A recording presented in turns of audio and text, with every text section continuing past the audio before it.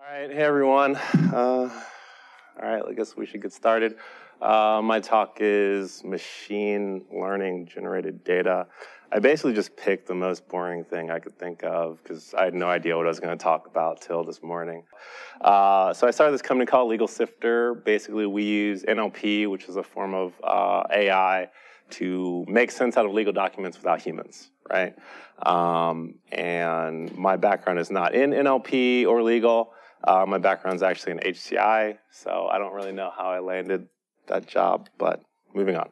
Um, so the thing I really want to talk to you guys about is this concept I've been thinking about, which is sort of like designing for imperfection.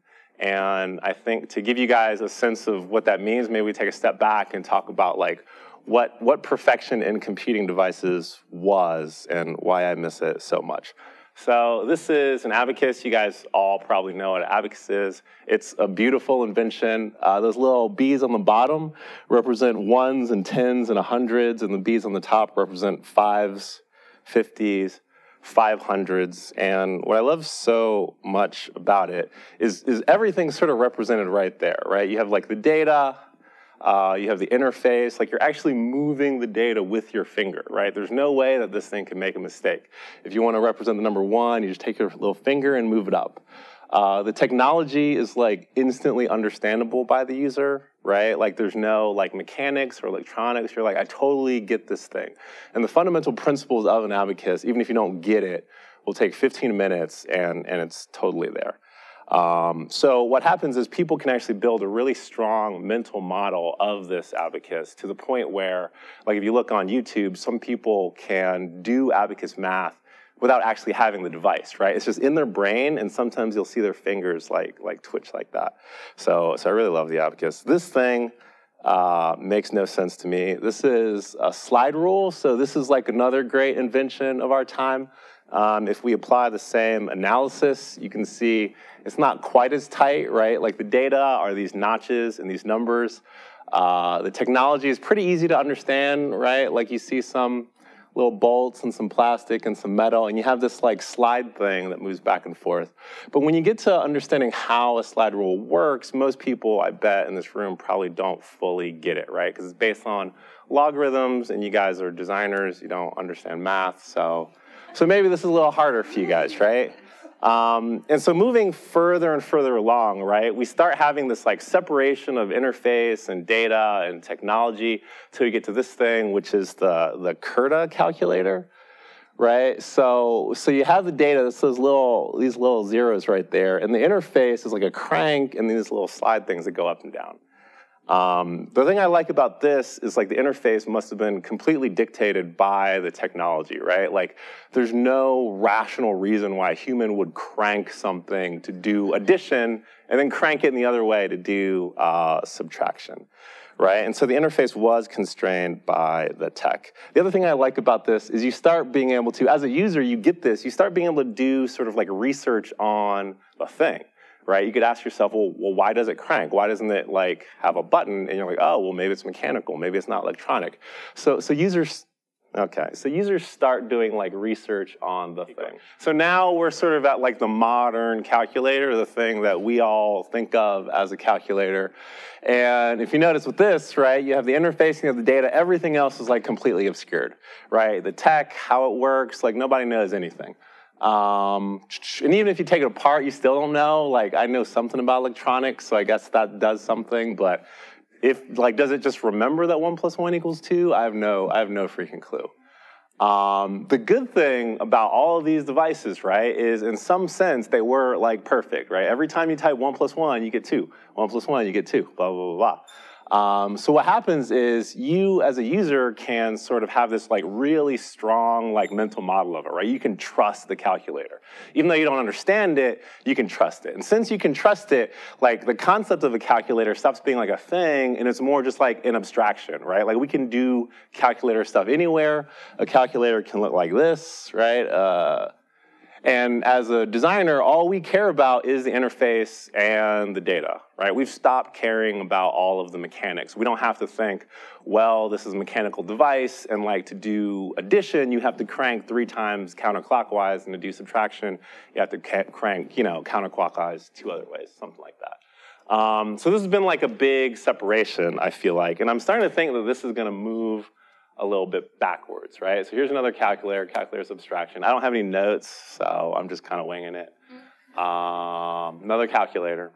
Uh, okay, so uh, what happens when you have a calculator and like every hundredth time you type in one plus one, you get three? right? This is the sort of space that I feel like a lot of people are in right now, and it's kind of a novel space, right? We haven't dealt with this for a while. Um, and so you're starting to ask yourself, well, I have to make this interface for a calculator, but the calculator doesn't work all the time. How do I think about that differently, right? And if you don't think about it differently, that's when things start failing. So, I mean, I think a lot of people say home automation is like too soon, right? Like you shouldn't adopt it, like you shouldn't put it in your house, it's way too soon. Well, I'm the idiot and I got one of these uh, smart locks, right? So I love my smart lock 90% of the time because it works 90% of the time.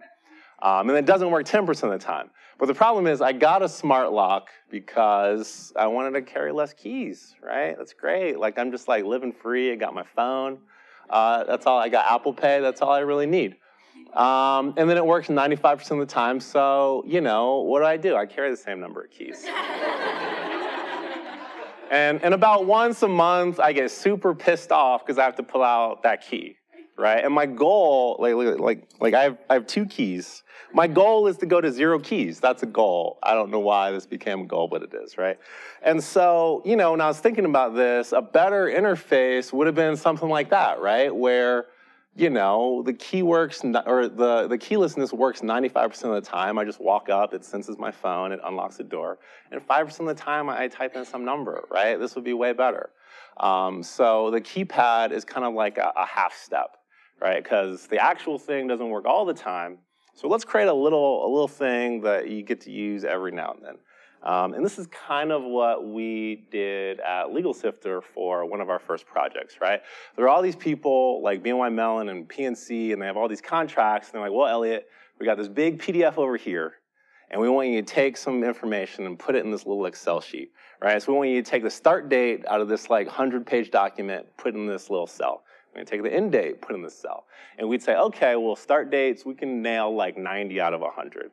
And end dates, we can nail, you know, 95 out of 100. And they're like, Elliott, that's not good enough, right?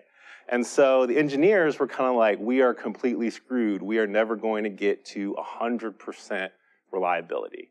Uh, and this is the only thing they could think of, right? Because all engineers can think about is more engineering, right? Let's just do more engineering and like make it work better. Um, and I think a lot of times they're not thinking of like a design solution like a half step. So what we ended up doing is saying, okay, well, we can't get a start date into this Excel sheet reliably, but we can give you like our best guesses, right? Our three best guesses. And our three best guesses are like 99.9% accurate. Like it's in that list. And so what happens is instead of having an interface where you have a PDF and you're trying to get one little thing in that spreadsheet, we, we sort of, you know, smush it around like that. Um, and so uh, this is like the interface we made for BNY Mellon. So you have like the original PDF, you have some suggestions, um, and then you have like the little spreadsheety piece up there. Um, so that's a half step. I really don't know what this talk is about. Oh, so, oh, here's another example of an imperfect system that I really love. This is Fantastical. I don't know if you guys use it. I think it's a $40 app on the Mac App Store, which is kind of insane. But it uses like natural language processing to understand um, dates and events. So I can type in something and it's like, oh, Elliott's typing something in. I'm going to try to figure it out and I'm going to try to normalize that, right? So when I say prepare for World IA Day tomorrow, it knows that tomorrow is the 24th because I started preparing for this yesterday, which was the 23rd. Um, but if it got something wrong, I can like backspace, backspace, backspace, and try something else. Like if 20, if tomorrow didn't work, I could try the 24th. 24th didn't work, I could try February 24th, right? So it's like me and this computer, and we're kind of live cooperating together to reach a common goal. And it trains me just as much as, as well, it doesn't have any machine learning, but if it did, I could say that it trains me as much as I train it, right? And that's very nice. I, I like that. Um, and so, yeah, that just breaks that out. And so Legal Sifter, we had sort of a similar thing where we, we did this like cooperative approach where one client was like, okay, Elliott, well, you can get start dates, you can get end dates. Now can you get like effective date? And effective date sounds simple. It's, it's really not simple at all because an effective date a lot of times is like the date something's signed and then some duration, right? So effective date could be like, oh, this contract is effective 30 days after it's signed. And so, you know, if you're only, say, like 50% accurate at figuring out the sign date, and you're 50% accurate at figuring out this duration, you're only gonna be right a quarter of the time. And no client wants to hear that, right? So it's like, okay, so how do I as a designer come up with something that's gonna be way cheaper than hiring like 100 engineers to work on this problem and get 25% all the way up to like 99%?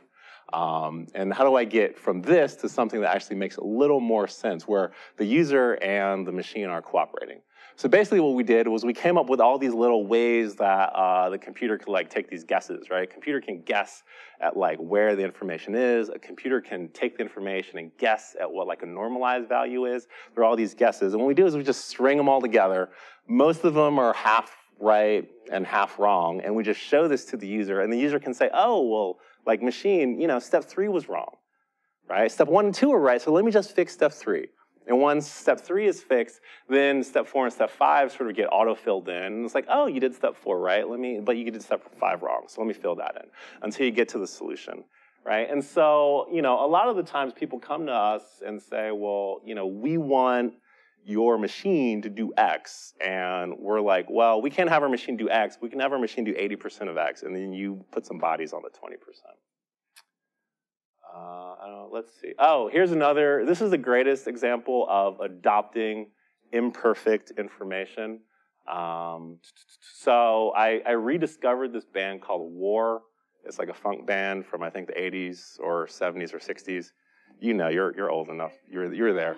Um, and so I was like, oh, I want to like rediscover this band War. Like, what are the best War songs? And I Google best War songs. Right? That's a terrible Google search because. All, right? All it's doing is saying, here are songs about war. And I was like, that's not what I want. I don't want songs about war. So I type in war greatest hits, and then, and then I get the greatest hits, right? But the thing I love about Google so much is like how it makes me feel bad about myself, right? Whatever Google did, like Google has this concept of like authority, which makes me feel like I'm to blame, right? I'm the user and it's my fault. I typed in a bad like Google search. I'm bad at it. They should teach a class. Uh, so that's why I love Google. Um, but the other thing that I think helps with this sense of authority is the amount of data they throw at you and how sometimes data is like additive and sometimes it's destructive, right? So the previous example, it's like the more parts we have to put together, the more wrong we are. Sometimes the more parts we put together, the more right we are.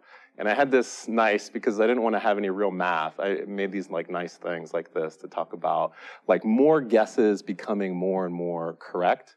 Um, and so this is the freelancer scorecard. This is a thing we made for like freelancers where you could upload a contract and this would tell you if the contract was more in favor of your client than you right? And so we had like 300 little models that we were pulling from, but if we had 3,000 models, it would be even better. And the thing is, like that little slider thing, no one second guessed it, right? Because there's all this data behind it, behind one single metric.